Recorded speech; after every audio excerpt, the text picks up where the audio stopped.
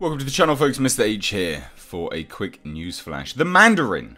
Of course, one of those issues that a lot of people had with Iron Man 3 was the fake Mandarin. Now, there was a one-shot which teased the very real Mandarin, and at the time of its release, Kevin Feige, the head of Marvel, did state that there have been talks about the real Mandarin, that's one of the reasons we wanted to do the fun short that Drew Pearce wrote and directed. That was to clarify hey, just because we did this thing doesn't mean this other thing doesn't exist.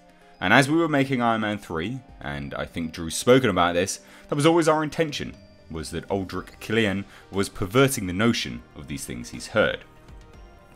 Now that was obviously many moons ago, and due to the fact that we've been going more cosmic with the Marvel Universe, it's been difficult to see how the real Mandarin could fit in. Now, in a recent Ask Me Anything over on Reddit, Kevin Feige has actually reaffirmed the plans for Mandarin to be introduced into the Marvel Universe are still very, very much alive in the Marvel Cinematic Universe. So, I wanted to pose this question to you. How do you think he'll fit?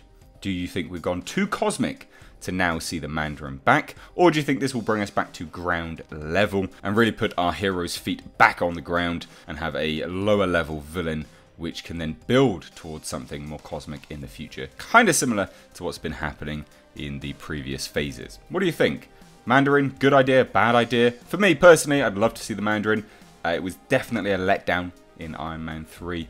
But what do you think? Let me know down below in the comment section. As always, if you are new here, please do hit subscribe. And to up to date on the world of pop culture and movie news, please do crush that bell notification icon. Guys, thanks so much for watching.